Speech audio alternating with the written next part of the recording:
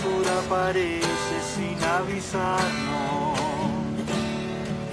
La vida en la casa arrastra como absolutamente positivas y los cielos son mágicos por acá. Es de esperar que los científicos logren recopilar la información que nos dé la explicación del porqué de todo, la vida, qué sé yo, ¿cierto?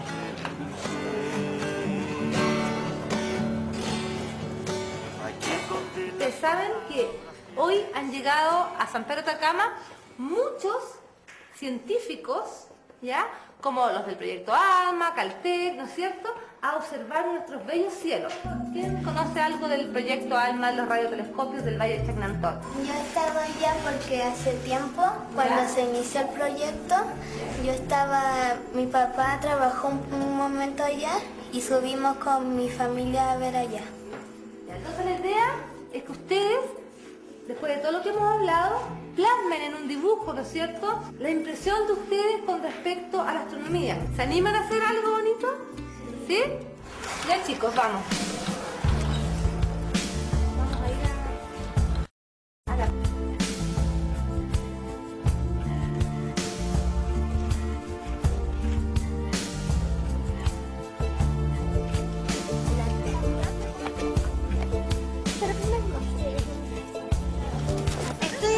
chamán que está haciendo un pago a la tierra, o sea, a los dioses. Está arriba del Licancabur. Y ahí, mi amiga va a hacer una lomita donde van a estar las antenas. Estamos dibujando el volcán Licancabur, una representación de él y los cerros y montañas que están alrededor de acá. Vamos a dibujar la tecnología del proyecto ALMA, que son las antenas dirigidas hacia las estrellas que la está, nos las está mostrando.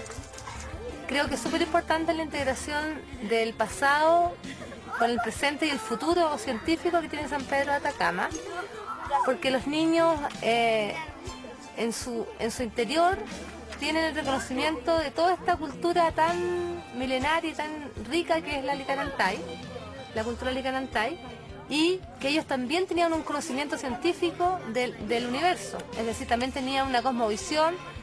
Ellos también observaban el cielo, como están haciendo ahora también tantos científicos en este gran proyecto que son el proyecto ALMA y otros.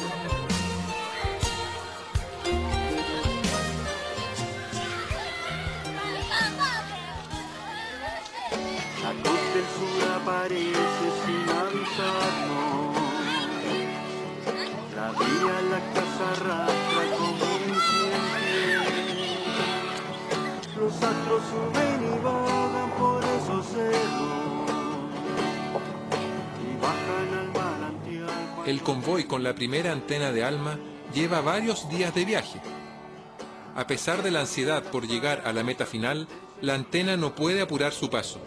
Chilenos, europeos, norteamericanos y japoneses deben armarse de paciencia a medida que atraviesan el calor abrasador del desierto.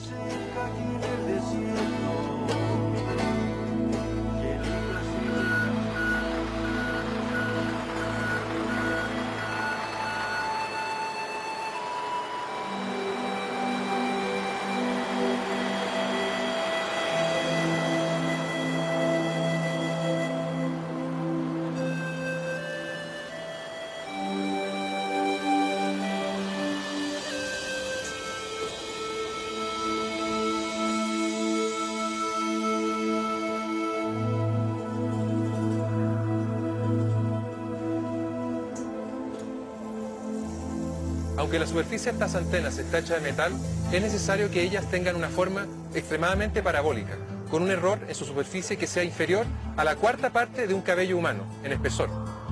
Si esto no fuera así, sería imposible cumplir con los requerimientos científicos necesarios para cada uno de los proyectos con los cuales se va a usar el proyecto ALMA. Después de siete días de una ardua travesía, llena de dificultades, la primera antena de ALMA llega finalmente hasta la base de operaciones, donde se embalarán cada uno de los 66 radiotelescopios.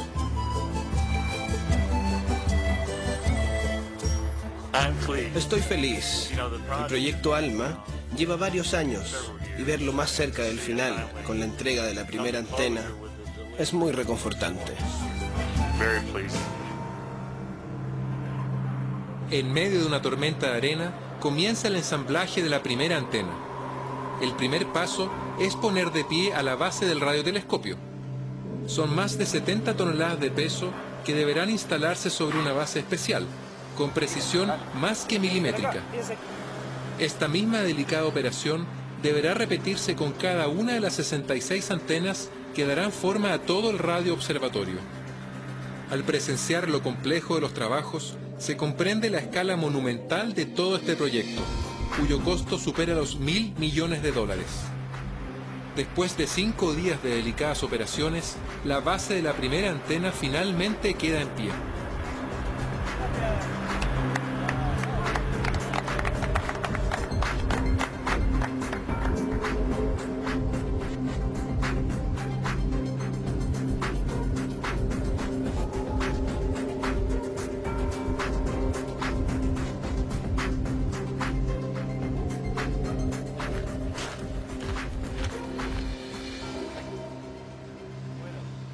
Aquí estamos a 3.000 metros de altura, donde vamos a controlar todas las antenas.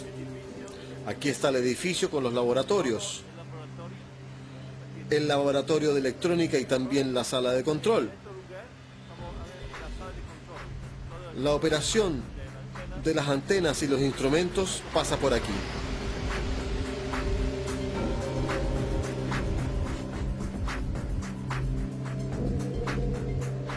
El observatorio tiene unas 350 personas que trabajan acá en turnos. Y cuando estemos como un observatorio normal, habrá 150 personas, técnicos, ingenieros, científicos y la mayoría de ellos chilenos. Mientras Máximo recorre los últimos trabajos de Alma, la arqueóloga Ana María Barón explora una estancia altiplánica que descubrió muy cerca de la base de operaciones. Gracias a este proyecto es que nosotros hoy día podemos rescatar estos restos culturales y reconstruir esta historia. De alguna manera, eh, el llegar a la cumbre de los cerros con ese tremendo esfuerzo que significa el construir pequeñas plataformas, el construir pequeños refugios en la altura, es porque se busca una, relación que va más allá de nuestro pisar diario, que va más allá de, de nuestra superficie de la Tierra. ¿Por qué siempre queremos subir más alto?